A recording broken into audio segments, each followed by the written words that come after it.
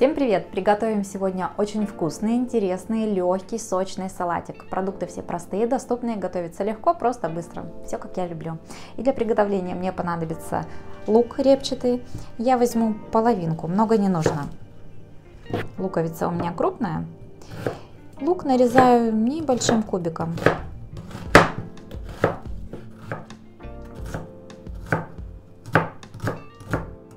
Если лук очень злой, можно обдать его кипятком. У меня лук такой нормальный, поэтому я этого делать не буду. Отправляю лук в глубокую миску. Одно яблочко, желательно не рассыпчатое, сочное, кисло-сладкое. У меня сорт Гренни. Яблоко очищаем от э, кожуры и семян.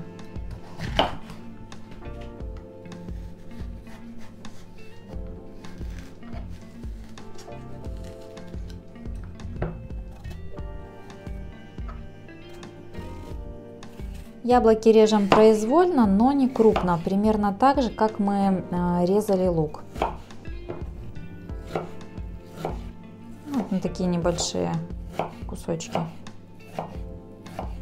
Резанные яблоки отправляем в ту же миску, где у нас находится лук. Сюда же добавляем немного горчицы. Вот так. Перчик черный молотый или смесь перцев. И сюда же добавляем чайную ложечку уксуса яблочного 6%. Уксус можно заменить э, разведенной лимонной кислотой или соком лимона. Все это хорошенечко перемешиваем и оставим постоять на столе. Вы знаете, продукты в составе салата очень простые, но сочетание получится очень интересное. Рецепт такой незаезженный и для меня он новый. Мне очень понравилось, поэтому и с вами тоже делюсь. Теперь мне понадобятся грибочки. У меня шампиньоны. Грибочки я буду резать ну, не очень мелко.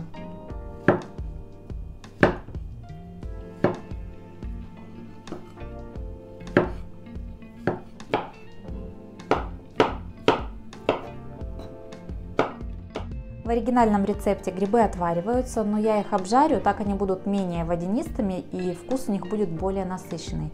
Но если вы будете брать лесные грибы, их обязательно нужно предварительно отварить, а потом уже обжарить. В сковороде я разогрела растительное масло, перекладываю сюда грибочки и буду обжаривать.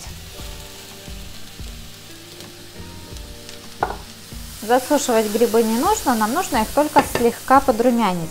Теперь самое время грибочки слегка посолить. И я еще добавляю перчик. Все это хорошо перемешиваю. Выключаю огонь.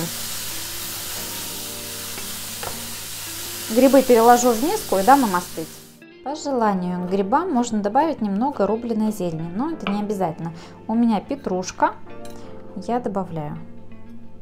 Ну, так, знаете, для контраста все это перемешаю. Собираем салат. Можно выложить его просто на блюдо или в салатник. Я воспользуюсь кольцом от разъемной формы. Если кольца нет, ничего страшного. Устанавливаем на блюдо. Кольцо у меня, кстати, размером 20 а, сантиметров. Яйца заранее отварила вкрутую. Порублю их небольшим кубиком а, сразу же на блюдо. Первым слоем будут яйца. Я привыкла резать вот так вот ножом. А если вы опасаетесь, э, то можете порезать, конечно же, на разделочной доске, либо натереть яйца на крупной терке.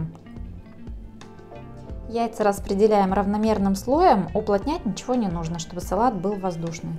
Слегка подсолим и сверху делаем сеточку из майонеза.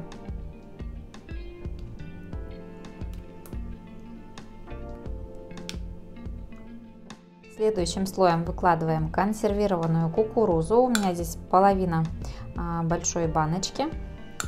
Все продукты и их количество будут указаны в описании под видео, поэтому всегда можете туда заглянуть. Снова делаем сеточку из майонеза. Не хотите использовать майонез, возьмите сметану или натуральный йогурт, например. Следующим слоем будем выкладывать яблочки с луком. Кстати, посмотрите, яблоки совсем не потемнели. Я на всякий пожарный случай накрывала еще миску в контакт пищевой пленкой. Но даже если бы этого не делали, здесь есть уксус и все было бы нормально. Распределяем яблочки с луком равномерным слоем на кукурузу.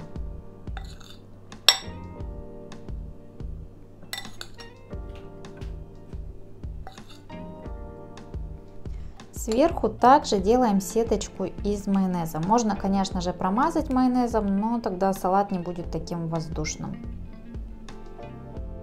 Завершающим слоем выкладываем обжаренные грибочки, уже остывшие. Грибы промазывать майонезом не нужно, я просто украшу вот таким вот образом, сделаю полосочки.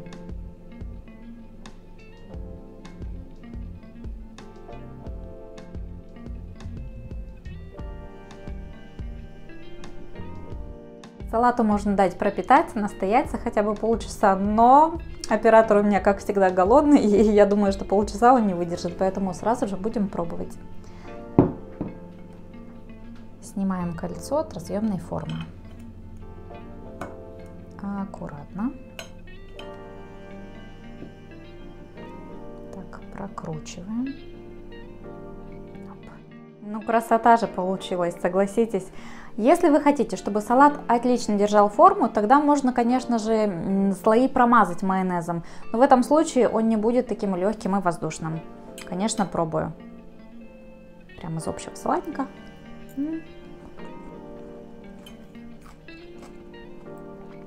Вкуснота! М -м -м. Сочный, легкий, нежный, воздушный кисло-сладенькое яблочко, лучок слегка чувствуется. Вот так. Обязательно попробуйте приготовить, ставьте лайк, если понравилось. Всем приятного аппетита и пока!